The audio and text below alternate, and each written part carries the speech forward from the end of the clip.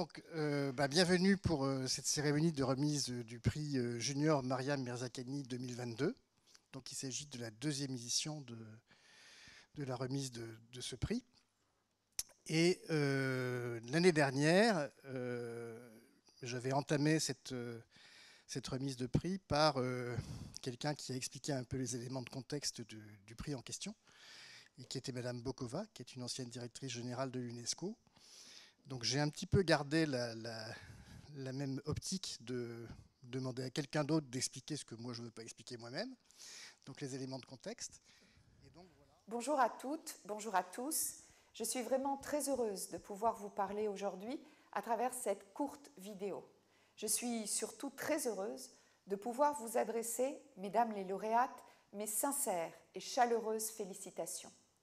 Le prix qui nous réunit aujourd'hui porte le nom de Mariam Mirzakhani, première femme, vous le savez, à avoir reçu cette fameuse médaille Fields de mathématiques. Le symbole est important, c'était la première fois. On aurait pu croire, on aurait voulu croire que cela ouvrirait la voie. Pourtant, depuis, une seule autre femme est devenue médaillée Fields. C'était un peu plus tôt cette année, en 2022, lorsque Marina Viazowska mathématicienne ukrainienne, a été récompensée aux côtés de notre médaillé Fields français, Hugo Duménil-Coppa. Marianne Mirzarkani voulait devenir écrivaine, mais elle a découvert une autre forme de poésie, celle des mathématiques. Sa passion pour la géométrie des formes inhabituelles lui a permis de découvrir de nouvelles façons de calculer les volumes d'objets avec des surfaces hyperboliques.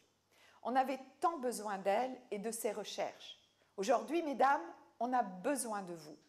Trop peu de femmes investissent le monde des mathématiques et plus généralement le monde des sciences dites dures. Et les statistiques ne démontrent toujours pas une progression suffisante en ce domaine. C'est pourquoi, au sein du gouvernement, et en particulier aux côtés d'Isabelle Rome, ministre déléguée chargée de l'égalité entre les femmes et les hommes, nous sommes pleinement engagés pour accompagner cette dynamique avec toujours plus de volonté. Alors, on n'a pas besoin de vous simplement pour gonfler les statistiques. On a besoin de vous car votre présence est primordiale pour éviter les biais, par exemple des biais de modélisation. Les femmes sont frileuses, dit-on. Non, le confort thermique des bâtiments a en fait été pensé à partir de la chaleur corporelle des hommes.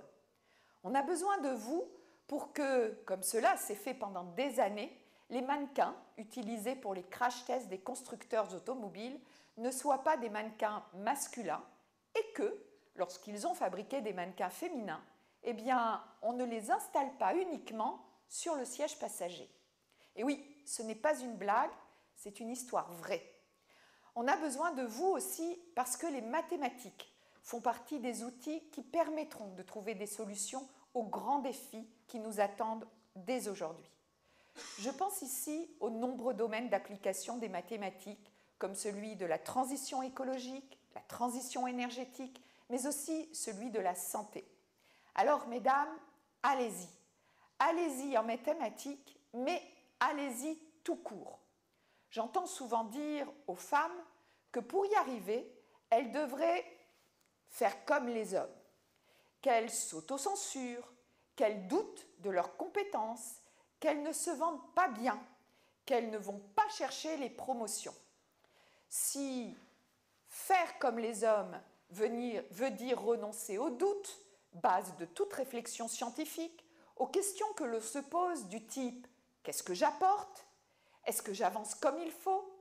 Alors je répondrai qu'il faudrait plutôt dire aux hommes de faire comme les femmes. D'ailleurs, je voudrais citer pour finir Simone Veil, qui disait Ma revendication en tant que femme, c'est que ma différence soit prise en compte, que je ne sois pas contrainte de m'adapter au modèle masculin. À toutes, encore un grand bravo et je vous remercie.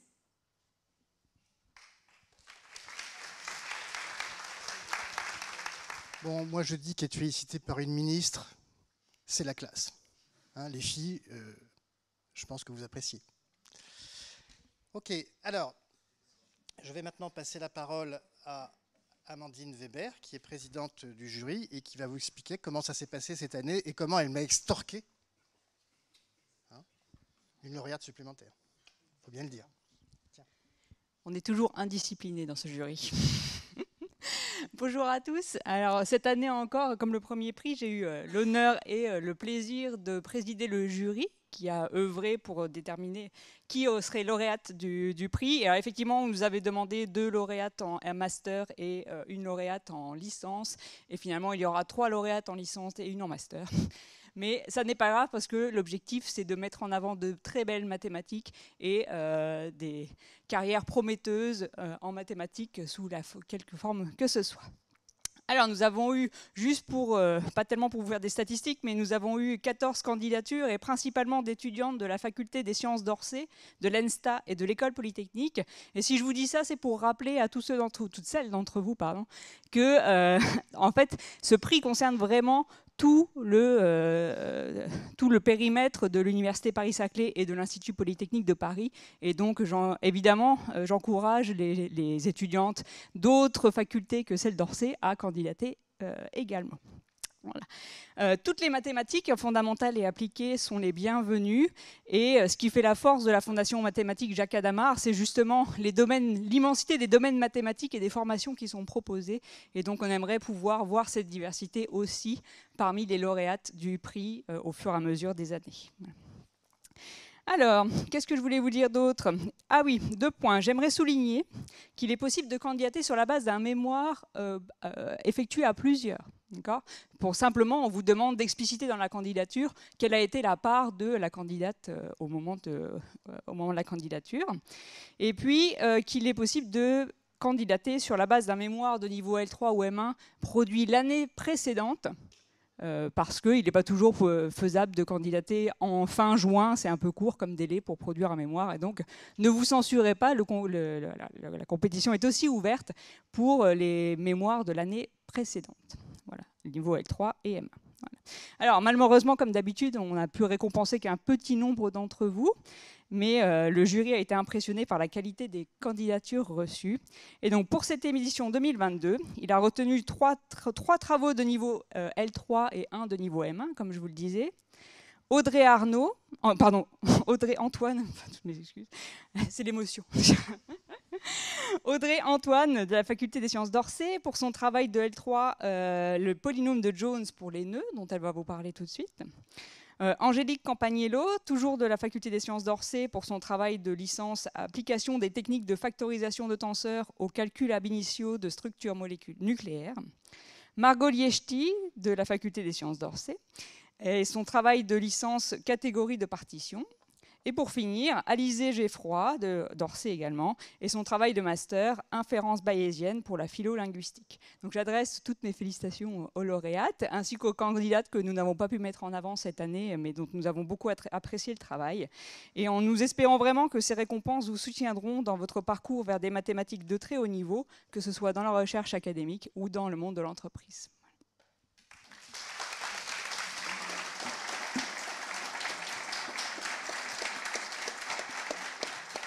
Donc j'appelle maintenant Angélique Compagnello qui va nous présenter un aperçu du travail qui lui a valu d'être distingué. À toi Angélique.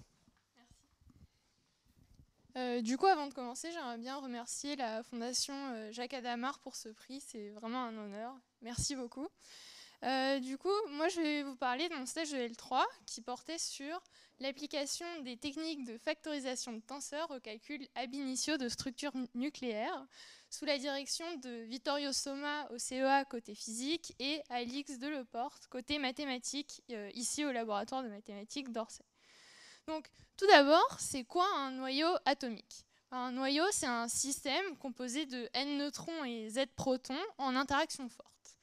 La matière sur Terre, elle est composée d'environ 260 noyaux stables, mais dans l'univers, il existe des milliers de noyaux instables dont on a seulement étudié une partie, environ 3000, euh, dans nos laboratoires. Et du coup, le but, c'est d'étudier euh, expérimentalement et théoriquement tous ces noyaux. Bah, Le problème, c'est que euh, l'étude théorique ab initio, donc ab initio ça signifie qui part de premiers principes, elle est limitée aux noyaux qui font pas plus de 100 nucléons. Et donc, je vais vous montrer pourquoi et comment mon stage a essayé de répondre à ce problème. Donc, pour modéliser nos noyaux, on doit résoudre l'équation de Schrödinger. C'est une équation aux valeurs propres pour un opérateur auto-adjoint, h égale e. Et donc, notre euh, auto-adjoint, c'est l'hamiltonien h. Et l'hamiltonien, en fait, ça va encoder toute la physique du système. Et donc, dans un noyau, l'hamiltonien, il est composé de plusieurs termes. Le premier terme, c'est un terme cinétique, T1. Ensuite, on a des termes d'interaction. Donc, on a l'interaction à deux corps V2 et l'interaction à trois corps euh, V3. Et il se trouve qu'en pratique, un opérateur d'interaction à corps, c'est un tenseur à deux indices. Du coup, euh, le terme cinétique, c'est un tenseur à deux indices. Le terme d'interaction à deux corps, c'est un tenseur à quatre indices. Et le terme d'interaction à trois corps, c'est un tenseur à six indices. Et du coup, maintenant qu'on a tout ça, on a envie de prédire des quantités euh, physiques comme par exemple l'énergie de liaison, le rayon du noyau, etc. Le problème, c'est que ces tenseurs, ils sont euh, très très gros et euh, plus on veut modéliser des noyaux gros, plus on va avoir des tenseurs gros pour pouvoir encoder euh, toutes les interactions qu'il nous faut. Et donc par exemple, je vous ai mis une taille euh, réelle donc du tenseur d'interaction à trois corps et c'est à peu près de 10 téraoctets. Et alors 10 téraoctets, c'est vraiment beaucoup trop gros pour nos super, super calculateurs actuels qui n'ont pas autant de mémoire. Et donc, une des solutions possibles pour résoudre ce problème, c'est de compresser et de factoriser ces tenseurs. Et ça, ça a été euh, le but de mon stage. Donc on va d'abord euh, parler d'une décomposition de matrices. Alors les matrices, ça peut être vu un peu comme un tenseur 2D, donc c'est bien. Et donc pour les matrices, euh, je ne sais pas si vous en avez entendu parler, mais on a la décomposition en valeur singulière. Alors c'est quelque chose qui marche très très bien et tout, il y a des théorèmes, ça marche. Et, et donc euh, là, on va décomposer une matrice en matrice de rang 1. Donc là, par exemple, j'ai décomposé A, euh, donc on a une somme qui va de J égale 1 à R. Et en fait, on voit que si on tronque cette somme, on compresse la matrice. Et euh, donc, on aimerait bien généraliser ce type de décomposition aux tenseurs. Et en fait, les tenseurs, c'est un peu plus compliqué.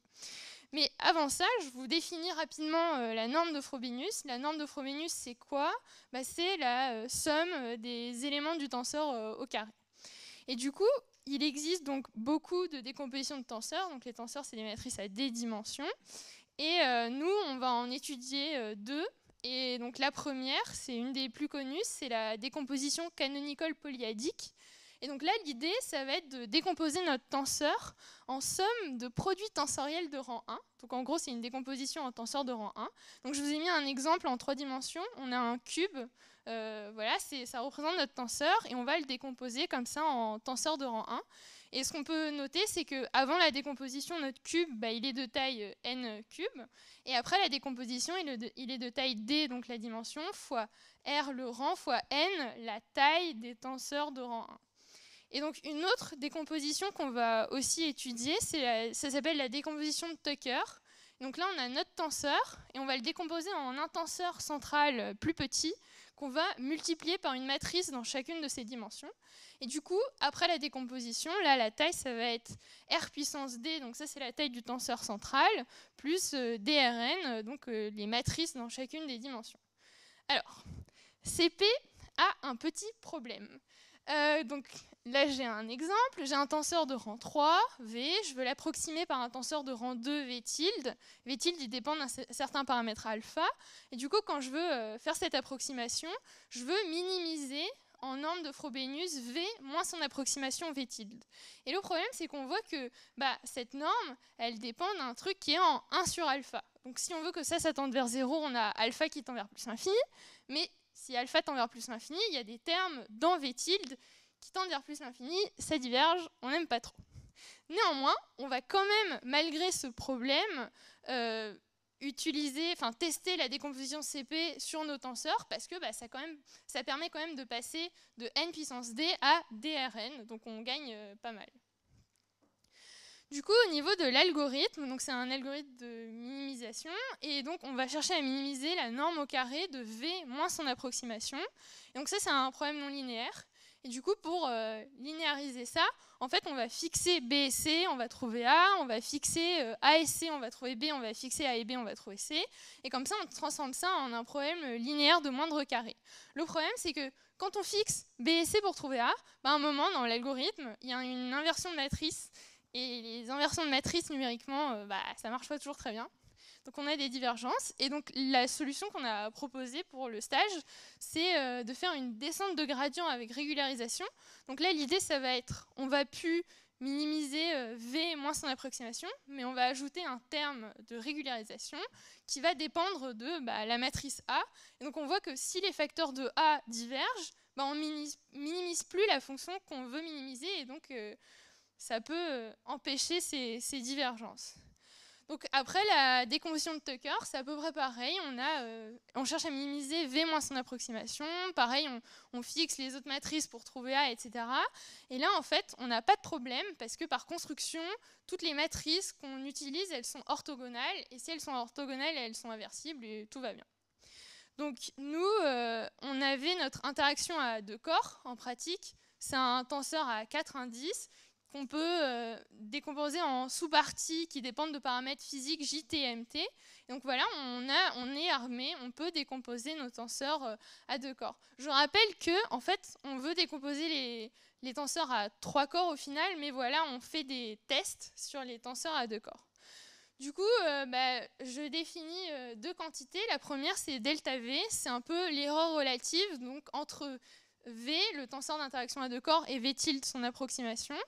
Et euh, ensuite, je définis ce que j'appelle le facteur de compression RC. Donc là, c'est la nouvelle taille du tenseur après décomposition sur euh, l'ancienne taille. Et donc, je trace euh, delta V en fonction de RC. Et il faut savoir que pour la précision qu'on veut dans nos solutions de l'équation de Schrödinger, on veut une, erreur de 10-1. Et donc, on voit que donc sur ces graphes que CP, par exemple, ça paraît assez instable pour les différents J, et surtout quand RC égale 1, donc quand la nouvelle taille égale l'ancienne taille, donc quand on gagne rien en mémoire en gros, euh, ben on, a euh, la décomposition CP qui converge pas trop. Euh, ensuite, au niveau de Tucker, bah, on voit qu'au bout d'un certain temps, ça converge très bien et ça marche. Mais bon, les tenseurs, c'est bien sympa, mais nous, ce qui nous intéresse, c'est les quantités physiques. Et du coup, les quantités physiques dont je vous avais parlé au début, c'est l'énergie du noyau et son rayon, donc sa taille. Donc là, euh, j'ai fait euh, ça pour euh, différents facteurs de compression et j'ai fait ça pour des noyaux d'oxygène et de calcium qui sont composés à peu près d'une dizaine de, nucléons. Et alors, ce qu'on voit, c'est que Tucker, bah, ça marche très bien on a tout qui descend à 10-2 et donc on, on peut voir qu'on a un RC de 0,5, donc on pourrait gagner un facteur 2 en mémoire. Euh, CP, par contre, euh, ça marche pas du tout, euh, ça converge pas. voilà. Et donc, en, conclusion, bah, on a testé deux décompositions sur le tenseur d'interaction à deux corps. Donc, la décomposition CP, et elle marche pas très bien. La décomposition de Tucker, qui, elle, est une réussite, ouais, et, et, voilà. Alors, ce que je vous ai pas dit, c'est que les tenseurs que j'ai utilisés, en fait, euh, la, taille, elle était assez petite, elle était de, 28 dans chaque dimension. Et en fait, euh, dans la réalité, on a besoin d'une taille de 10 puissance 3, donc beaucoup plus gros. Du coup, il faudrait tester la décomposition de Tucker sur ça. Bien sûr, il y a d'autres décompositions, il y en a beaucoup pour les tenseurs. Moi, j'en ai testé que deux au cours de mon stage, mais euh, il y a peut-être des décompositions qui sont mieux adaptées, moins bien adaptées, il faut tester. Ensuite, euh, ce que je vous avais pas dit, c'est que le gradient CP que je proposais, bah, il prend euh, beaucoup de temps à compiler. Donc, euh, nous, on est très impatients et il faudrait donc améliorer la vitesse de, ce gradient. Et enfin, puisqu'on a réussi à décomposer le tenseur d'interaction à, deux corps, bah, on aimerait bien tester sur, ça sur le tenseur d'interaction à trois corps, qui, lui, limite les calculs à pas plus de 100 nucléons. Et donc, il faudrait faire ça dans l'avenir. Merci beaucoup pour votre attention.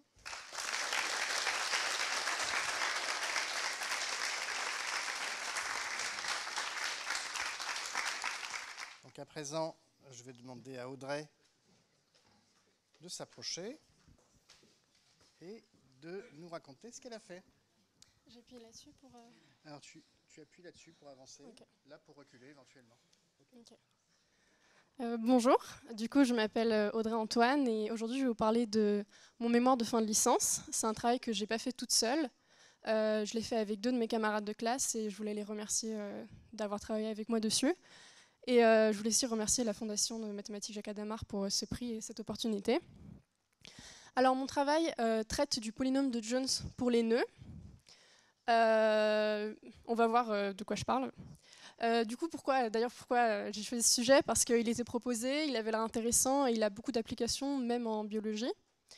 Euh, du coup, voici un sommaire de ce que je vais faire. en premier, je vais donner la définition d'un nœud. Il faut bien commencer quelque part. Ensuite, je vais donner une façon de représenter les nœuds. Ensuite, je vais vous parler de l'équivalence de deux nœuds au travers des mouvements de Reidmeister, que je vais introduire par la suite. Et enfin, ben, je vais vous parler du titre, un invariant de nœud, le polynôme de Jones. Alors déjà, euh, des définitions. Euh, avant de définir un nœud, on définit ce qu'est un entrelac. C'est quelque chose euh, parce que c'est plus général et on va en utiliser.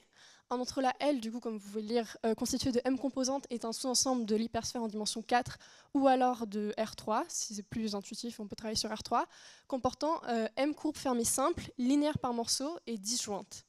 Et du coup, un nœud, qu'est-ce que ça va être? Ben, Ça va être un entrelac qui contient une seule composante connexe, c'est-à-dire composé d'une seule corde que, en fait, un nœud, on peut voir ça comme une corde. Enfin, là, ils disent linéaire par morceau, mais on s'imagine que la corde, elle est linéaire par morceau. Et en fait, euh, on fait un sorte de nœud avec, et puis on joint les deux extrémités. Et du coup, ça, c'est un nœud. Et en entrelac, il peut avoir plusieurs cordes attachées et tout. Euh, voilà. Mais du coup, maintenant qu'on a une définition théorique, comment est-ce qu'on va pouvoir manipuler ces nœuds? Euh, ben, Une façon de les manipuler, c'est en les représentant à travers des diagrammes en deux dimensions qui doivent respecter du coup trois règles. Déjà, euh, c'est un peu contradictoire, mais la courbe doit être une immersion. Euh, on vient de décrire les nœuds comme euh, étant des courbes linéaires, composées de courbes linéaires par morceau, mais on va les représenter lisses parce que c'est beaucoup plus simple pour la lecture. Ensuite, il faut que deux portions de ne il ne faut pas qu'il y ait deux portions de courbes tangentes parce que ça nuit à la compréhension du diagramme. Et aussi, le diagramme ne peut contenir de points triples parce que autant lorsque deux portions de courbe se croisent, on peut savoir laquelle est devant, laquelle est derrière, parce que celle de derrière est coupée à l'endroit où celle de devant passe. Mais si on en a trois, on ne va pas dire celle-là elle est au premier plan, deuxième plan, troisième plan. Euh, là, c'est trop compliqué. Et du coup, euh, comme exemple, je vous ai mis euh, ce qu'on a décidé d'appeler le diagramme nul, qui est un diagramme du nœud nul, c'est-à-dire le nœud sans croisement. et du coup, voilà, on a nos diagrammes, mais, si mais en fait, lorsqu'on voit la description de, de, ces diagrammes, on peut aussi voir ça comme l'ombre euh, du nœud en trois dimensions euh, et l'ombre prise de telle façon à ce pas, que les trois conditions soient vérifiées, pas de courbe tangente et pas de point triple. Et du coup, quand on y pense, si je prends une lampe torche et que je la mets sur mon nœud, euh, selon l'angle où je vais la mettre, l'ombre va être différente. Et du coup, un nœud peut avoir plusieurs diagrammes de nœuds.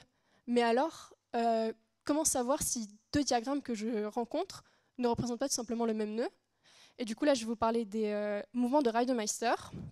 Du coup, Reidemeister a défini trois mouvements. Euh, le premier consiste à, du coup, le, mouvement 1, on va les appeler R1, R2 et R3, euh, consiste à, lorsqu'on a une boucle de cette forme, juste tirer sur les deux extrémités pour avoir une portion de courbe droite. Le deuxième, c'est si on a deux portions de courbe l'une devant l'autre, il consiste juste à les écarter pour les séparer. Et le troisième mouvement consiste à, si on a un croisement et qu'on a une portion de courbe derrière ce croisement euh, euh, qui est du coup au niveau de deux extrémités du croisement, on peut juste glisser cette portion de courbe euh, de l'autre côté du croisement. Mais du coup, lorsqu'on y pense, lorsque je vous l'ai décrit, on comprend bien que ces mouvements, euh, ils n'impliquent pas qu'on coupe la corde du nœud. Le, du coup, le nœud en soi n'est pas modifié, c'est juste des manipulations sans modifier le nœud. Et du coup, on a un résultat encore plus beau, c'est qu'en fait, deux diagrammes d'entrelacs, j'utilise entrelacs parce que c'est plus général, représentent le même entrelac si et seulement si on peut passer de l'un à l'autre par une suite de mouvements de Reidemeister. Euh, du coup, là, je vous ai mis un exemple. C'est le nœud de trèfle dans son diagramme classique et le nœud de trèfle dans un diagramme sous forme de tresse. Euh, vous pouvez vous amuser à essayer de passer de l'un à l'autre avec les mouvements de Reidemeister. Mais sinon, euh, j'ai fait un détaillé dans, mon travail si ça vous intéresse. Enfin, c'est un peu amusant parce qu'on voit comment le, diagramme se, change. Mais du coup, là, en fait, euh, si jamais on a deux, diagrammes qui représentent le même nœud, euh, de façon non déterministe, on peut donner une séquence de mouvements qui permet de passer d'un diagramme à l'autre et dire, OK, ces deux nœuds, ces deux diagrammes, ils sont équivalents, ils représentent le même nœud. Mais si jamais j'ai deux diagrammes qui ne représentent pas le même nœud, je ne peux pas tester l'infinité de séquences de mouvements de Rhinemaster possibles dessus et dire qu'ils sont différents en fait. Du coup, j'ai pas de réponse. Du coup, on va essayer de trouver quelque chose qui soit propre à un nœud. On va essayer de créer quelque chose qui, qui lorsqu'il est appliqué à un nœud, il soit vraiment propre à ce nœud et dans, ou un diagramme, euh, oui un nœud, mais du coup, lorsqu'on aura deux diagrammes distincts euh, du même nœud, eh ben, on aura le même euh, le résultat. Mais lorsqu'on aura deux diagrammes qui représenteront des nœuds différents, on aura des résultats différents et ça nous permettra de différencier ces deux nœuds. Et du coup, ce, que je vous décris, c'est un invariant de nœud. Et du coup, l'invariant de nœud dont je vais vous parler, c'est le polynôme de Jones. Je ne vais pas vous donner tout de suite la formule, on va y aller progressivement comme l'a fait Kaufman. Alors en premier, je vais vous parler des types de croisements. Euh, si on, décide d'orienter la courbe d'un nœud, on met une petite flèche sur euh, une partie d'une portion de courbe, en fait on peut distinguer deux types de croisements. Euh, le premier que vous voyez, c'est ce qu'on appelle un croisement positif, et le deuxième, c'est un croisement négatif. Et en fait, ce qui est très pratique, c'est que le nombre de croisements positifs et négatifs d'un nœud ne change pas selon son orientation. Et du coup, à partir de là, on va pouvoir définir l'entortiment. On va associer 1 au croisement positif et moins 1 au croisement négatif. Et on va définir l'entortiment comme l'application qui, a tout diagramme d'un nœud, du coup, associe la somme de ces croisements. Et euh, lorsqu'on regarde les mouvements de Master que je vous ai remis, euh, par un bref calcul, on peut voir que l'entortiment est invariant par le mouvement 2. Et euh, juste visuellement, comme les croisements ne changent pas pour le mouvement 3, on peut voir que l'entortiment est aussi invariant pour le mouvement 3. Mais pour le mouvement 1, comme on voit qu'il y a un croisement en plus, et ben en fait, l'entortiment est modifié. Plus, spécifiquement, euh, d'un diagramme euh, auquel on a appliqué le, mouvement 1 euh, sera égal à l'entortiment de ce diagramme initial, sans avoir appliqué le mouvement 1, moins 1. Du coup, on n'a pas vraiment un invariant, puisqu'en fait, il n'est pas invariant par le mouvement 1. Maintenant, je vais vous introduire le crochet de Kaufmann, qui du coup est défini récursivement. On a un cas de base qui est le nœud nul, et qui est défini du coup sur les diagrammes d'entre-là. Et ben voilà, enfin, je ne vais pas vous, tout vous décrire comment il est, construit, mais en tout cas, il est construit de telle sorte à ce qu'il euh, soit euh, invariant par le mouvement 2, et ensuite par des calculs, on peut vérifier que ça implique qu'il est aussi invariant par le mouvement 3, mais tout comme euh, l'entortiment, eh ben, il n'est pas invariant par le mouvement 1.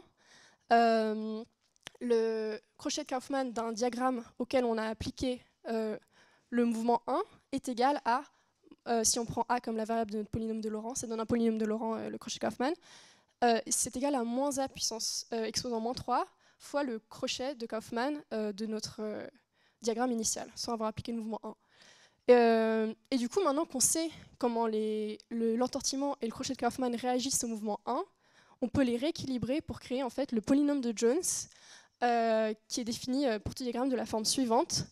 en fait, par un bref calcul, on peut se rendre compte que lorsqu'on applique le mouvement 1, en fait, euh, d'un côté, à cause de l'entortiment, euh, le polynôme est multiplié par moins a euh, puissance 3.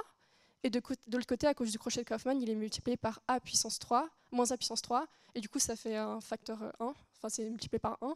Et du coup, bah, en fait, on a bien l'invariance par le mouvement 1. Et du coup, on a créé un invariant qui est invariant par le mouvement 1, 2 et 3. Et du coup, c'est un invariant d'équivalence.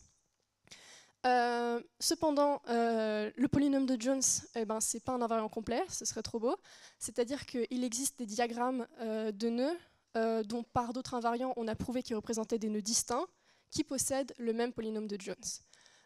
mais lorsque on a deux diagrammes de nœuds qui, après calcul, ont un polynôme de Jones distinct, eh ben, on peut être sûr qu'en fait ce sont deux diagrammes qui représentent des nœuds distincts.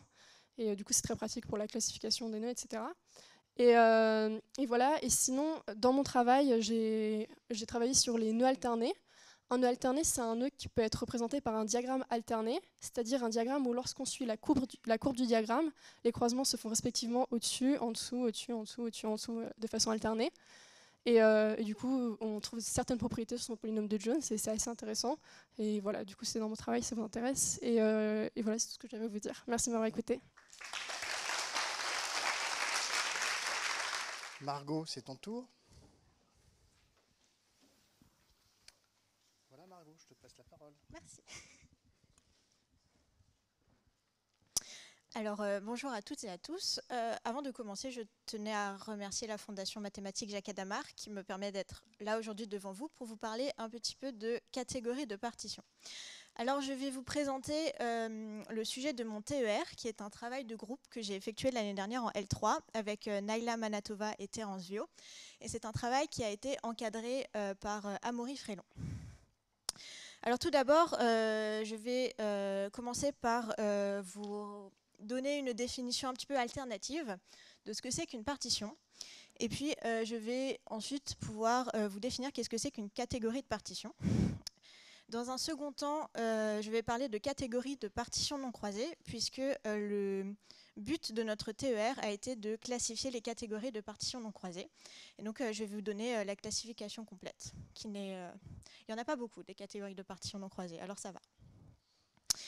Alors, on va redéfinir la notion de partition de manière un peu plus schématique, disons. Donc si on se donne deux entiers K et L, une partition P de K point supérieur et L point inférieur, ça va être une partition de l'ensemble euh, des entiers de 1 à K union les ensembles de 1 à L.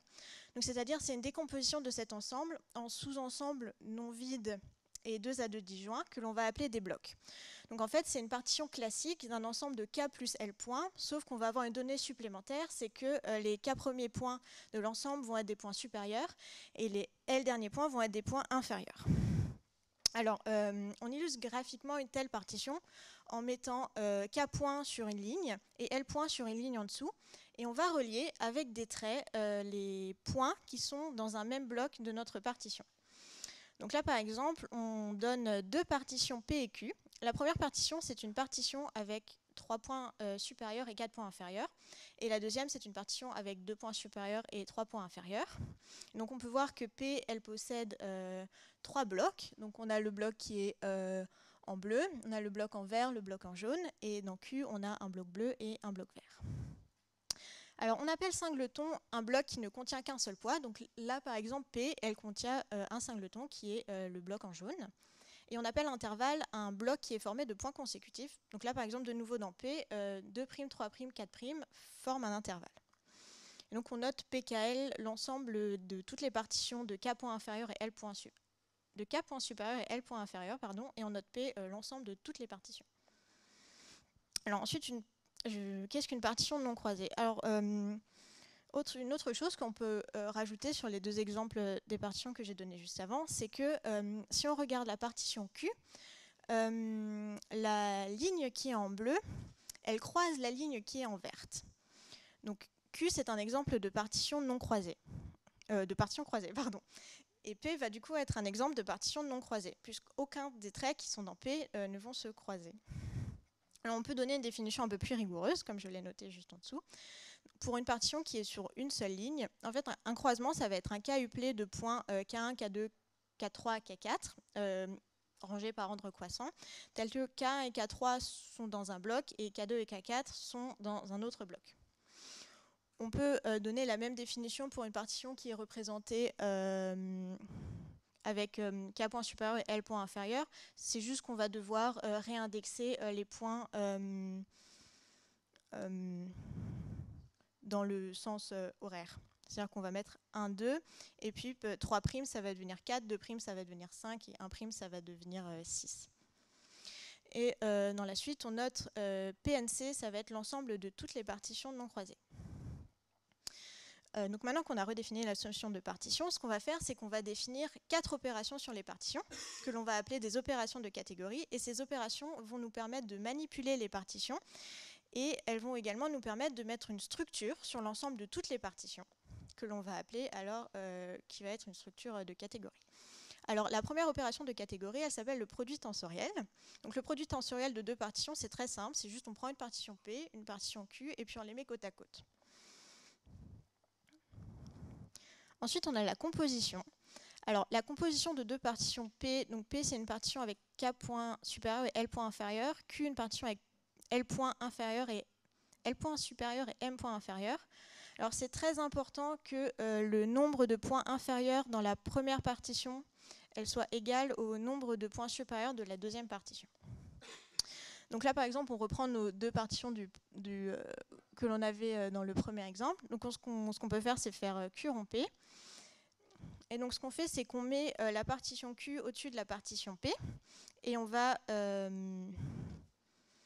obtenir un graphe qui est composé de trois lignes, donc que l'on appelle KLM, et on va regarder les points euh, qui sont euh, sur la ligne K et les points qui sont sur la ligne M qui appartiennent au même bloc. Donc là, par exemple, si on regarde le point 2 sur la ligne K, on voit euh, qu'il est relié au point 1'. En revanche, le point 1, dans la partition Q, il est relié au point 3', mais comme dans la partition P3, il est relié à, il n'est pas du tout relié à la ligne du bas, bah dans la nouvelle partition qu'on obtient, il va se retrouver tout seul. Ensuite, euh, troisième opération de catégorie, l'involution. Donc l'involution d'une partition P, ça va être euh, la partition qu'on obtient en inversant les lignes de points supérieurs et inférieurs et sans changer les traits qui le relient. Donc par exemple, là on a, on a P et puis on a euh, son involution P star. Et enfin, on va avoir des rotations. Donc ce qu'on a le droit de faire, c'est de déplacer un point extrémal supérieur gauche ou droit pour qu'il devienne un point extrémal inférieur gauche ou droit. Et on a le droit de faire euh, l'opération inverse, c'est-à-dire transformer un point extrémal inférieur en un point euh, supérieur. Là, par exemple, on a euh, la rotation du point extrémal inférieur droit de Q. Donc 3', on l'a monté en haut, et c'est devenu le point 3. Donc maintenant, on peut définir qu'est-ce que c'est qu'une catégorie de partition. Donc une catégorie de partition C, c'est une collection d'ensemble de partitions CKL euh, stable par les quatre opérations de catégorie et qui contient la partition euh, dans P de 1,1 que l'on appelle la partition identité. Donc c'est un point en haut, un point en bas que l'on a connecté. Donc avec cette définition, P, c'est une catégorie de partitions que l'on appelle la catégorie de toutes les partitions. Alors un autre exemple, si on se donne P1, Pn, euh, P1 jusqu'à Pn des partitions, on peut considérer la catégorie de partitions engendrée par les partitions P1, Pn qui va être la plus petite catégorie de partitions qui contiennent les partitions P1, Pn. On peut également voir cette catégorie de partition comme euh, l'ensemble des opérations de partition que l'on peut faire à partir des partitions P1, Pn et euh, de l'identité. Donc ça va être l'ensemble des, opérations de partition euh, faites avec les P1, Pn et l'identité. Donc si on note Bn l'intervalle composé de n points consécutifs, on peut montrer que la catégorie de toutes les partitions, ça va être euh, la catégorie de partitions engendrée par l'intervalle B3 et par euh, la partition en croix là que vous voyez qui est dans P222. Et donc une catégorie de partitions non croisées, c'est juste une catégorie de partitions dont toutes les partitions vont être sans croisement. Donc un exemple très simple, ça va être l'ensemble PNC de toutes les catégories de partitions non croisées. C'est une catégorie de partitions non croisées et ça va être la plus grande au sens de l'inclusion. Un autre exemple assez simple de, catégorie de partitions non croisées, ça va être l'ensemble de toutes les deux partitions non croisées. Alors une deux partitions, qu'est-ce que c'est? C'est une partition dont tous les blocs vont avoir exactement deux points. Ça ne s'appelle pas exactement une deux partitions, mais euh, c'est plus simple de l'appeler comme ça. Euh, par exemple, P2NC, ça va être la catégorie de partition qui va être engendrée par l'identité. Et ça, on peut le voir assez bien. quand vous regardez l'exemple juste en dessous, qui est une partition euh, dans P2NC, euh, en fait, ça va être... Euh, par exemple, on peut la décomposer avec des opérations de partition. Ça va être l'identité concaténée à la rotation de l'identité où on aura monté l'unique point inférieur, concaténée de nouveau à l'identité. en fait, n'importe quelle partition dans P 2 NC peut être obtenue en faisant des opérations de catégorie sur l'identité.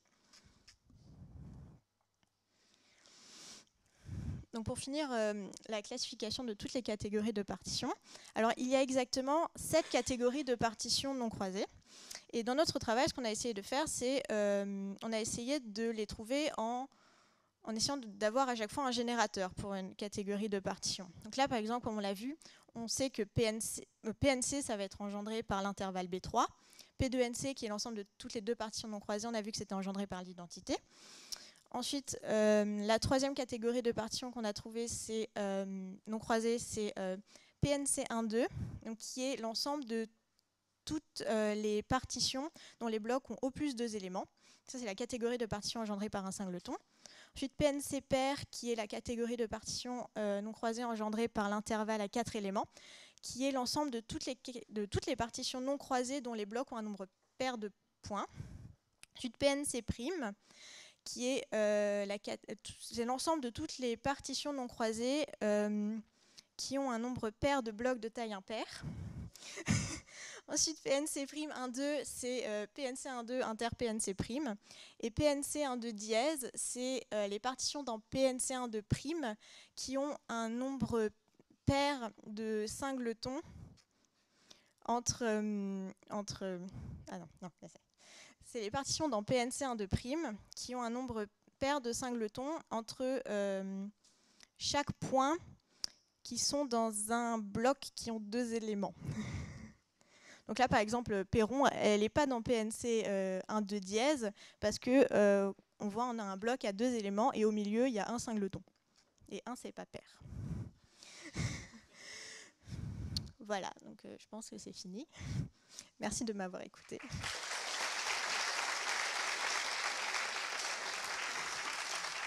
Alors, Alizé, tu vas avoir l'honneur de clôturer ces présentations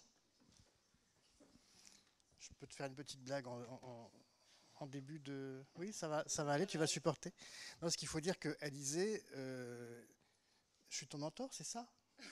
Hein, Officiellement, je suis ton mentor, on est d'accord? Oui, officiellement. Alors, je vais quand même vous raconter comment ça se passe, les séances de mentorat avec Alizé. Alors, elle arrive, elle a sa liste, elle me dit Alors, je vais faire tel, tel, tel, tel, tel cours. Ça va? Euh, et alors, qu'est-ce que tu veux faire quand tu seras grande? Ah ben moi, je sais ce que je veux faire. Alors, donc l'année prochaine, je veux faire une césure. je, veux faire tel truc, etc. Est-ce que ça va? Je dis ben oui, ça va. Donc, vous voyez que j'ai été un mentor extrêmement efficace avec Alizé. Hein. Elle me doit tout, en fait. Vas-y, Alizé. Oui, quand même, je vais remercier euh, Pascal Massard. Euh. Euh, donc, bonjour à toutes et à tous. Du coup, moi, je m'appelle Alizé Geffroy et euh, je suis en M1, enfin j'étais en M1 euh, MIA l'année dernière, donc mathématiques pour l'intelligence artificielle. C'est pour ça que j'ai pu avoir un, tuteur. Et euh, du coup, je suis là pour vous présenter un peu ce que j'ai fait. Ça sera assez succinct par rapport à tout ce que j'ai pu faire pendant mon stage, mais c'est une partie des choses que j'ai fait pendant mon stage du coup de M1 l'année dernière, qui était sur l'inférence bayésienne pour la philo-linguistique. Du coup, euh, ce stage, je l'ai fait à l'Université Paris-Dauphine euh, avec euh, Robin Ryder, que je tiens à remercier même s'il n'a pas pu venir, et Gilles Blanchard pour l'Université Paris-Saclay. Et du coup, ce stage, pour l'anecdote, j'ai juste vu une conférence, j'ai envoyé un mail à Robin et ça a fonctionné directement. Donc vraiment, envoyer des mails pour l'anecdote, ça fonctionne. voilà. Du coup, pour euh, un peu euh, le sommaire de cette présentation, je vais d'abord vous présenter quelques notions parce que la philo-linguistique et la phylogénie, il y a quelques termes qui sont assez importants parce que sinon vous n'allez pas comprendre ce dont je vais parler. Et ensuite, je vais euh, vous parler de quelques aspects mathématiques et enfin présenter aussi des résultats que j'ai pu avoir sur la fin de mon stage. Donc, la philo-linguistique, c'est euh, de la phylogénie, mais appliquée aux données linguistiques. La phylogénie, d'abord, c'est utilisé pour la biologie et l'évolution. On a peut-être des il y a quelques-uns ou quelques-unes d'entre vous qui ont, peut-être des souvenirs euh, du lycée.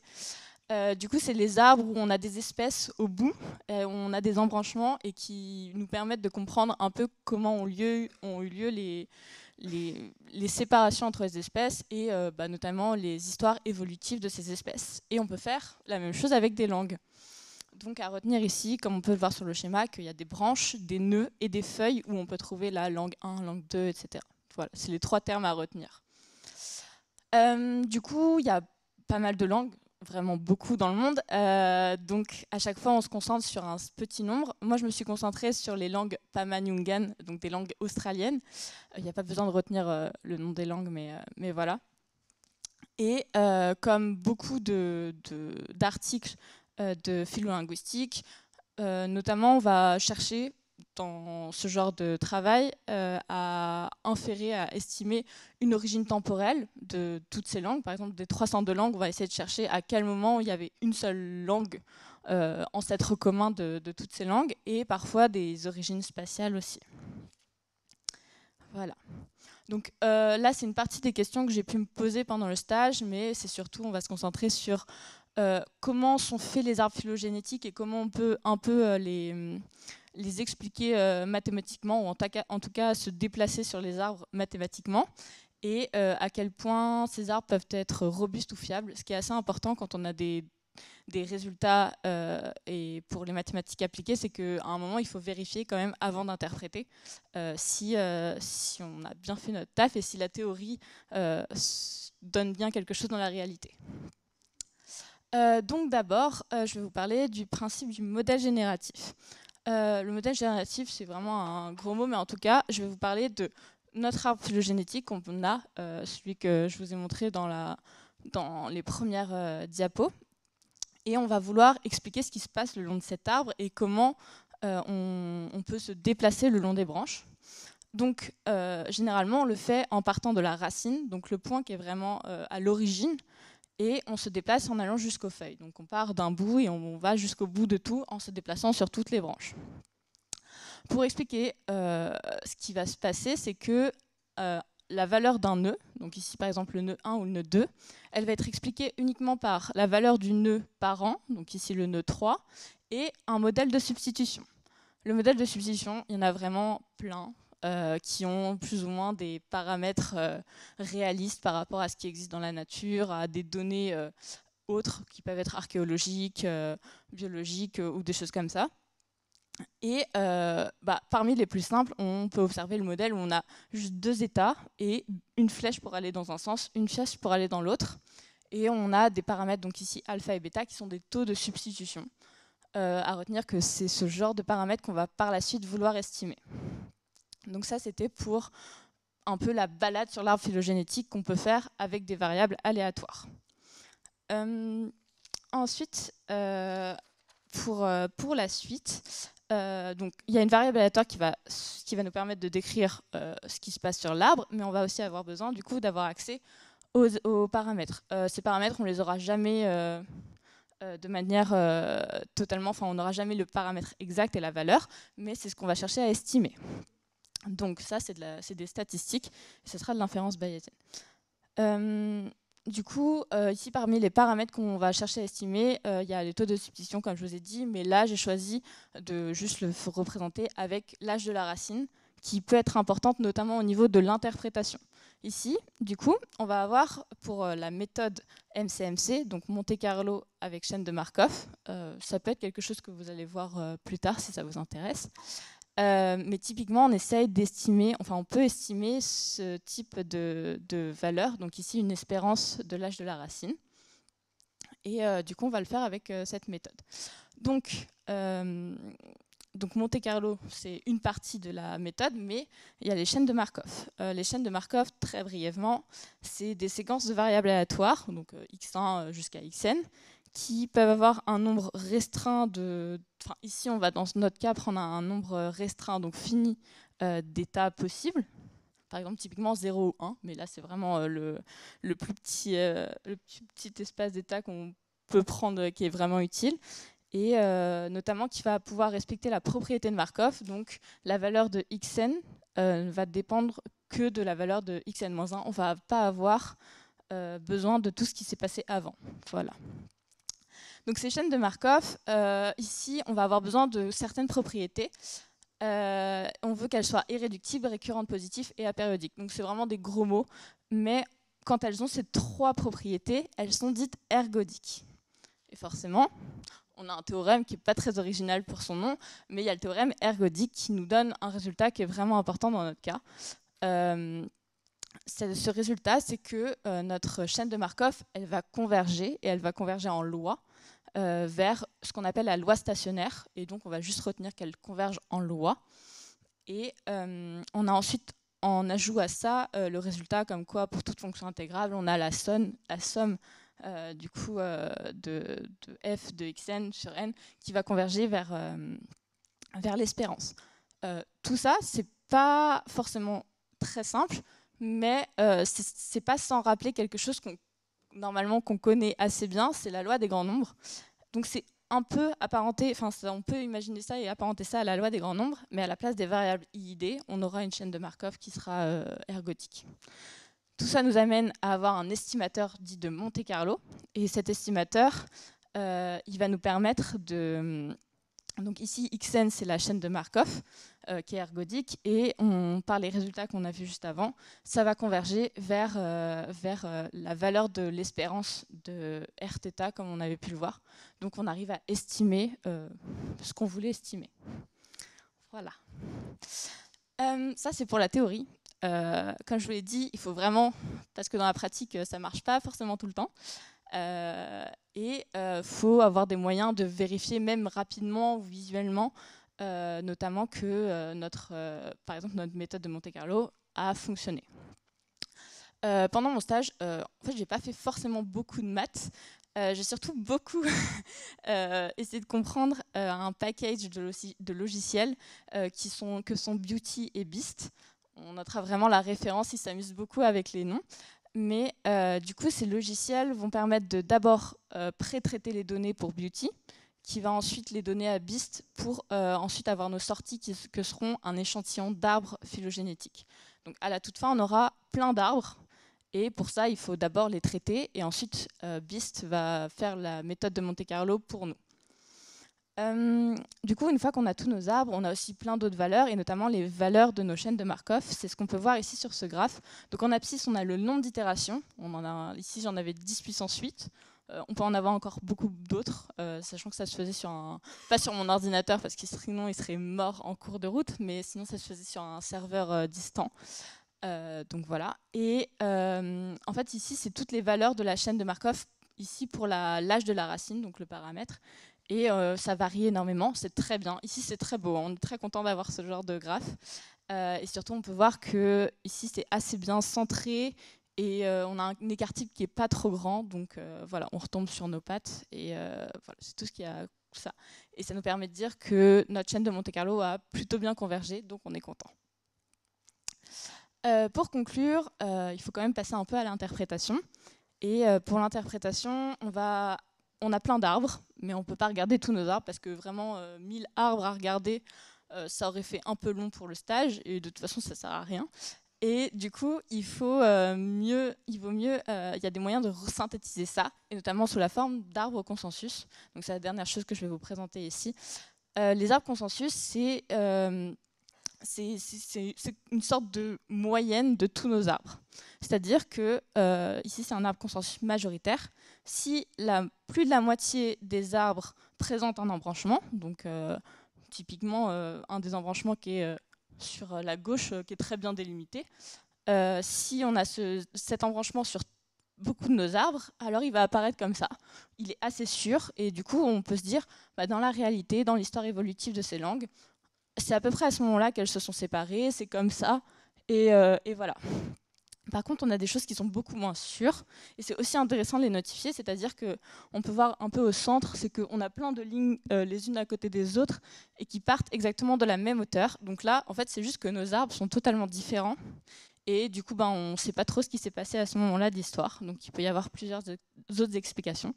Et euh, du coup, ça peut être ce genre de choses euh, par rapport à la topologie de nos arbres qui peuvent nous servir pour l'interprétation. Merci de votre attention. Euh, bah, merci pour euh, ces présentations qui donnent vraiment un très bel aperçu de ce que sont les mathématiques dans leur, euh, dans leur diversité. Et maintenant, on arrive, du coup, c'est comme ça que vous dites, hein? Du coup, on en arrive au moment le plus agréable, hein, qui est la remise des petits diplômes et puis des petits chèques qui vont avec. Et là, j'appelle ma chef, la vraie directrice de la fondation, celle qui tient les cordons de la bourse, et le chéquier, hein, Isabelle, voilà.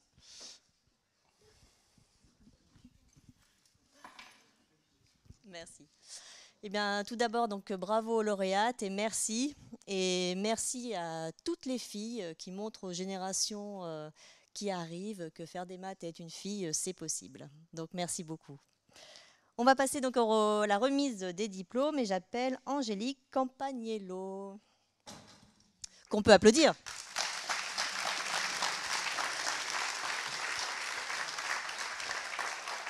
Bravo Angélique au nom de la Fondation. Félicitations et le chèque et la pochette sera plus facile pour transporter. Encore bravo.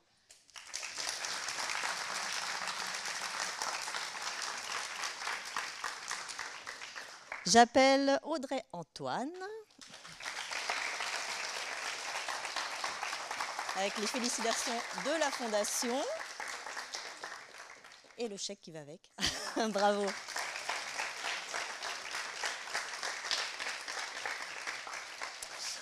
J'appelle Alizé Geffroy.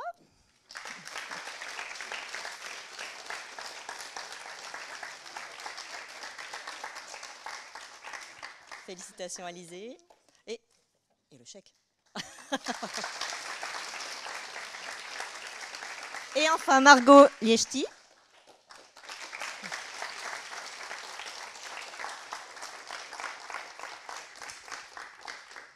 Avec les félicitations de la Fondation et le chèque qui va avec. Bravo à toutes.